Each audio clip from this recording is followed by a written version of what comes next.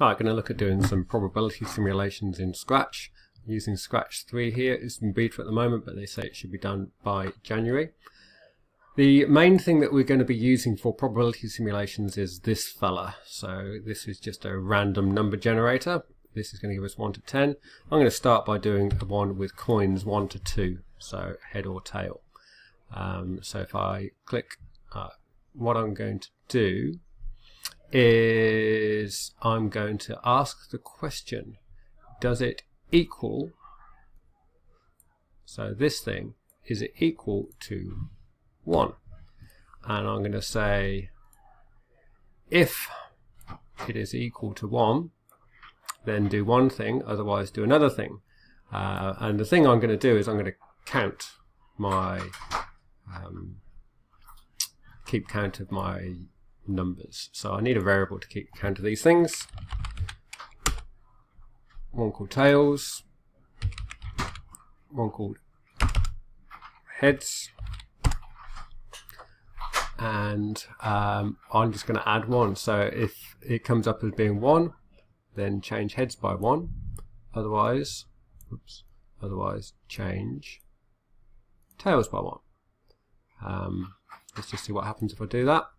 Yep, tails went up by one, tails went up by one. Seems to be all tails. Oh, I got a hit. And so I'm just looking at the output in this output window over here. So that's all good except it's one at a time. So the value of actually doing this, of course, is we've got a repeat option. So I can take this repeat loop and say, uh, let's do it 100 times. And if I just click on it to run it, what we got. Uh, actually, might be a good idea to just drop in here in terms of the variables reset these values before we begin. So if I just click on that, so yeah, that seems about right, seems about right, getting what we expected, and we could add some zeros in if we want to, and we're doing 10,000 of them. So there's the simplest example of a probability experiment we can come up with. Um, let's do one that's slightly more complicated. Uh, I'm going to do one where we're rolling two dice, which is quite a nice one because um, you can calculate the probabilities.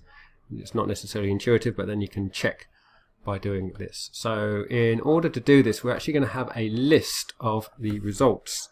So two dice results, and we're going to kind of update the list as we go along with rolling the two dice. Um, so two dice how we're going to do this. Firstly, we need to add together two random numbers between 1 and 6. That's what that is going to do. I'm also going to put that into a variable. Um, might be reasonably obvious in a minute why. So I'm going to make a variable called total dice, I don't know, whatever. And I'm going to say set total dice to being this value. Yep, so if I roll one dice, we can see it happening down here. I've got a 6 this time by adding the two dice together. And every time I click it, it rolls them again. That's rolling two dice. So what we're going to do is we're going to take this two total dice and we're going to jam them into this list. So I'm just hitting the plus here. So I've got 12 values. And we're going to be slightly cunning. What we're going to do in our list is we're going to replace, oops, replace um, item total dice. So we're using the, the total dice variable to specify the position in the list. Um, and we're going to take what's currently in that position. So we get um, item total dice of uh, of the 2D dice results. Thank you. Item total dice of 2D dice results. And we're going to add one to that. So we're going to take whatever is currently in there, like that, and add one to it. And that's what we're going to replace the current value with is whatever the current value is plus one. So let's just see if that actually happens. Seems to be working. Just click a few more times, make sure it goes up. Yep, so every time I click, it rolls two dice and it goes up. And same as before, let's bung in a loop. So this lot, I'm going to do it a thousand times. Click it to run it, and that looks like a distribution that you might expect. 7 comes up the most, 1 didn't come at all, up at all, and 12 and 2, not wildly dissimilar. Let's keep rolling that.